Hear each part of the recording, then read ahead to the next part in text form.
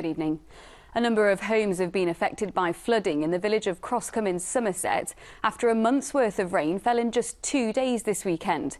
It's after the River Sheppey burst its banks earlier today. The village hall's been set up as a temporary base for affected residents and emergency service teams. Six flood warnings remain in place across the county tonight.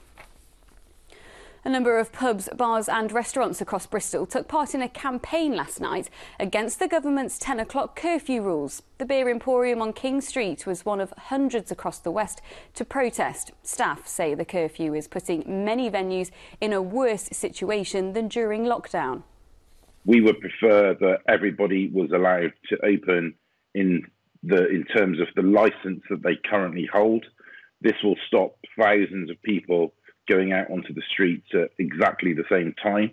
And it's just safer for people to be in venues that have sanitization, that have social distancing, that have face masks, that have security. Now, let's catch up on a busy weekend of sport.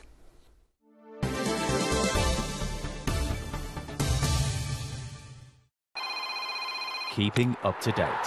Hi. Hi Hi, proud sponsors of ITV Regional Sports Report. And it was a good weekend for most of our teams. Here's a roundup with Alex Wood.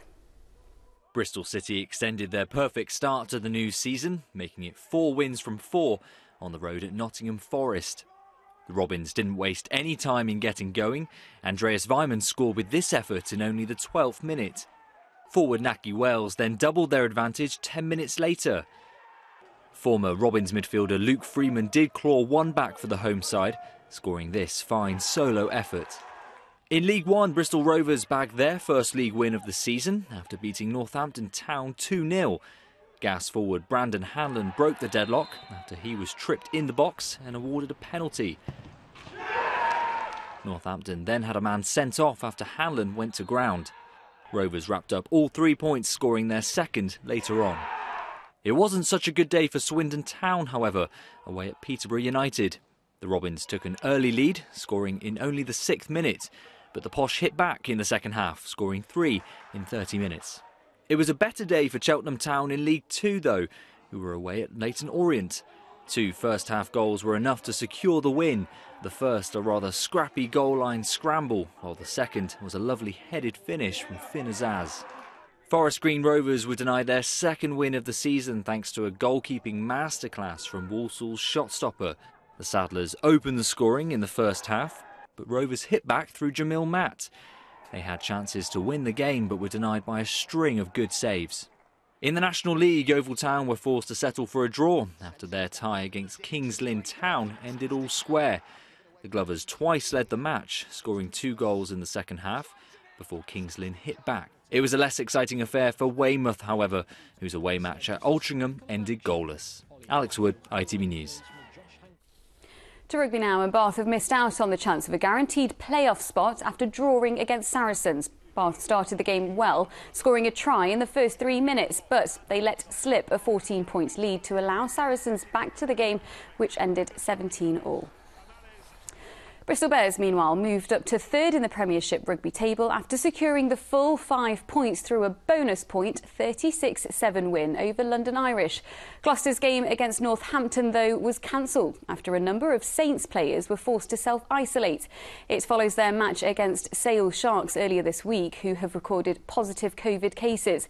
The forfeit means Gloucester were awarded a 20 0 win, which means they finished seventh in the table and have qualified for next year's European Champions. Cup.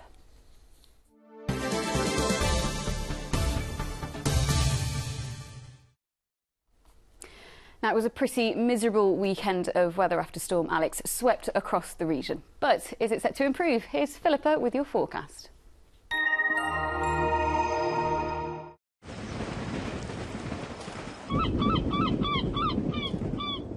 Great Western Railway sponsors the ITV West Country weather.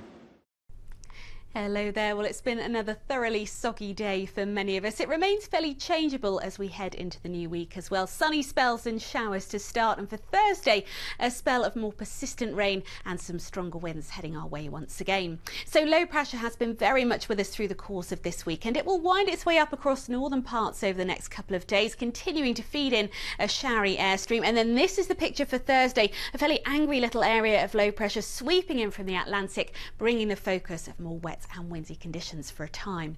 But for the rest of this evening and tonight, it looks relatively quiet. Any lingering rain soon clearing away southwards, becoming largely dry, and under clearing skies, a fairly cool night on the cards. Temperatures for many of us dipping down into single figures by dawn. So a fairly cool start to the new week. Plenty of brightness around initially, but do make the most of it as the day wears on. We'll see plenty of showers developing, some of them on the heavy side, perhaps at times merging to give some longer spells of rain. That continues into the afternoon afternoon. In the best of the brightness, highs around 15 Celsius, but feeling somewhat fresher than that in the breeze. Do take care. Bye bye. Great Western Railway sponsors the ITV West Country weather. Thanks, Philippa. That's it from us this weekend. There's plenty more news from the region on our website. We'll be back tomorrow during Good Morning Britain. Until then, from all of us here, goodbye.